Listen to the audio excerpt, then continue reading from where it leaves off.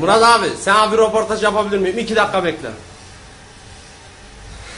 Evet. Çaycılığın önemi nedir abi? Çaycının ne amına koyayım böyle çaycılık mı olur lan? Ya abi iki dakika bekle. Sigara da dumanla komple yiyeceğim.